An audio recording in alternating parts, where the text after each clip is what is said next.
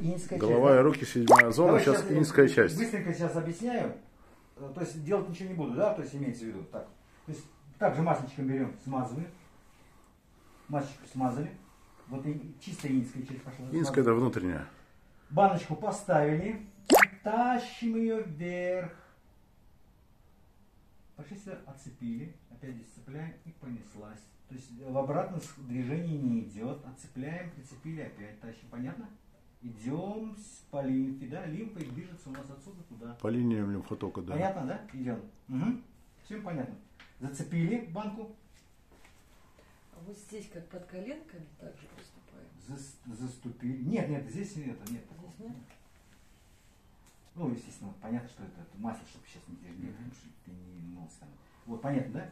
Вот прям прицепил я, вот и вот и потащил сюда, потащил, потащил, потащил, потащил, потащил, отцепил здесь. Ребенку поставил, качнул опять, и опять пошел, да? Понятно. Несколько раз так. Много злодействовать не надо на низкой части. Перемейки просто достаточно. Так, где все банки? А вот они все. Все 24? Нет, а на 24 надо. Так как бы, ну, ну да. Ну ладно, посмотрим, давай.